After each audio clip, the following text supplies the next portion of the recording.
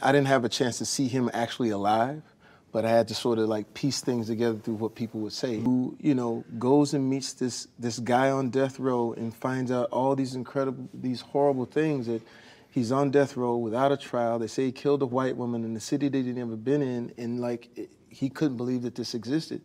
But he told me how Walter was. He felt like, you know, since I'm in this situation, um, I might as well do everything I can to help. So when you see in the movies talking to all the prisoners and everything like that, trying to keep up their morale, these guys on uh, death row. So I took that as the, the spirit of it. And then it was a matter of the vernacular, being in, um, you know, Alabama, and the way they talk like that, where they, the way they say their things, and, you know, and to make that not be caricature.